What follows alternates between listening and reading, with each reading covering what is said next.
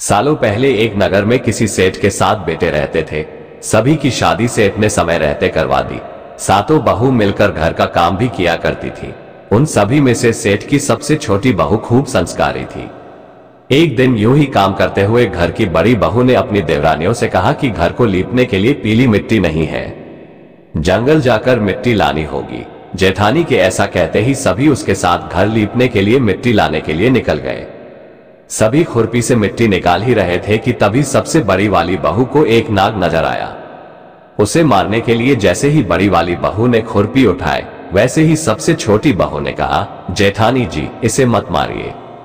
इसकी कोई गलती नहीं है। जंगल तो इसका घर है। अपनी देवरानी की बात मानकर उसने नाग को कुछ नहीं किया। तभी उस छोटी बहू ने नाग से कहा कि आप एक जगह पर अलग से बैठ जाए, हम तब तक मिट्टी खोदते हैं। फिर आपके पास आएँगे। इतना कहकर सभी मिट्टी निकालने लगे और कुछ देर बाद घर चले गए। सभी के दिमाग से नाग वाली बात निकल गई थी। अगले दिन छोटी बहू को अचानक से याद आया कि उसने नाग को इंतज़ार करने के लिए कहा था। वो तुरंत अपनी सभी जेठानियों को अपने साथ लेकर नाग के पास चली गई। वहाँ देखा तो वो नाग उन सभी के इंतज़ार में उसी जगह पर बैठा हुआ था। नाग को देखते ही छोटी बहू ने प्यार से कहा, भैया, कल हम लोग आपके पास आना भूल गए थे। उस बात के लिए आप हमें माफ़ कर दीजिए। जवाब में नाग बोला तुमने मुझे भाई कहा है इसलिए मैं तुम्हें दंड नहीं दे रहा हूँ। 2024 से नहीं तो अब तक मैं तुम्हें डस चुका होता। आज के बाद में तुम हमेशा के लिए मेरी बहन रहोगी। अब तुम अपने भाई से कोई वरदान मांग लो। मैं तुमसे बहुत खुश हूँ इतना सब सुनने के बाद छोटी बहू ने नाग को बोला मेरा कोई भी सगा भाई नहीं है इसलिए मैंने आपको भाई कहा था। अब से आप मेरे भाई हो। अब हरदम मेरी रक्षा करना आपका फ़र्ज़ है। बस यही वरदान मुझे आपसे चाहिए। नाग ने हर कदम पर साथ देने का वादा किया और अपने रास्ते निकल गया। सेठ की सारी बहू भी अपने घर लौट गई। कुछ समय बाद नाग इंसान का रूप बनाकर अपनी बहन से मिलने सेठ के घर गया। उसने सेठ से कहा कि मेरी छोटी बहन को बुला दो। वो आपकी छोटी बहू है। पहले तो उनके मन में हुआ कि बहू का कोई भाई ही नहीं था ये कहाँ से आ गया फिर भी उन्होंने अपनी छोटी बहू को बाहर बुलाया नाग ने फिर साथ में बहन को अपने घर लेकर जाने की बात की। सेठ ने इसकी भी आज्ञा दे दी। तभी नाग ने अपनी बहन से पूछा कहीं तुम मुझे भूल तो नहीं गई हो ना जवाब में बहन बोली नहीं भैया मैं आपको बिल्कुल नहीं भूली हूँ। फिर नाग ने कहा मैं तुम्हें अपने घर लेकर जा रहा हूँ। तुम मेरी पूंछ पकड़कर चलती रहना पीछे। उसकी बहन ने वैसा ही किया। कुछ ही। देर बाद वो एक बड़े से मकान में पहुँच गए वहाँ हर तरफ़ सोना चांदी और अन्य कीमती सामान थे वहाँ नाग की बहन आराम से कुछ दिनों के लिए रहने लगी। नाग की माँ भी उसे खूब प्यार करती थी। एक दिन नाग की माँ ने छोटी बहू को अपने भाई के लिए दूध लेकर जाने के लिए कहा। छोटू बहू ने दूध को गर्म किया और भाई को पीने के लिए दे दिया। अब गर्म दूध पीते ही नाग का मुँह जलने लगा। ये सब देखकर नाग की माँ को खूब गुस्सा आया।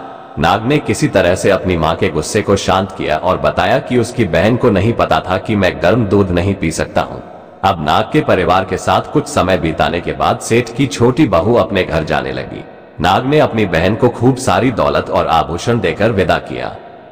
बहू के साथ घर में इतना सारा धन आते देख सेठ और उसकी जेठानियाँ हैरान हो गई। एक दिन नाग की बहन को घर की बड़ी बहू ने कहा कि तुम अपने भाई से और सोना चांदी लेकर आओ। उसके पास तो खूब पैसा है, वो तुम्हें मना नहीं करेगा। छोटी बहू ने अपने भाई नाग को यह बात बताई। इसके बारे में पता चलते ही नाग ने अपनी बहन का घर तरह तरह के आभूषणों से भर दिया। सभी जेवरातों में से एक हीरे का हार बेशकीमती था। उसे देखते ही हर किसी का मन उस पर आ जाता था। होते होते उस हीरे की हार की खबर राज्य की रानी तक पहुँची। उसने छोटी बहू से हार लेकर खुद अपने पास रख लिया। दुखी होकर सेठ की छोटी बहू ने अपने भाई को इसके बारे में बताया। गुस्से में उसके नाग भाई ने रानी के गले के हीरे के हार को नाग बना दिया। इससे डरकर रानी ने एकदम हार को अपने गले से उतारा और सेठ की छोटी बहू को महल बुलवाया। उसके महल पहुँचते ही रानी ने छोटी बहू को बताया कि कैसे हार उसके गले में नाग बन गया था और उससे इसकी वजह पूछने लगी। तब सेठ की छोटी बहू ने बताया कि नाग भाई ने ये हार सिर्फ़ मुझे पहनने के लिए दिया है। माना जाता है। इसे कोई दूसरा इंसान गले में डालेगा तो ये तुरंत सांप बन जाएगा। कृपा पाने के लिए इस बात को सही साबित करने के लिए रानी ने सेठ की छोटी बहू को सांप बन चुके हार को पहनने के लिए कहा। छोटी बहू ने जैसे ही नाग बने हार को गले में डाला तो वो दोबारा हीरे के हार में बदल गया आशुतोष की महारानी ने ये सब होते हुए खुद अपनी आँखों से देखा और हैरान रह गई। अब उसे सेठ की छोटी बहू की बात पर यकीन हो गया।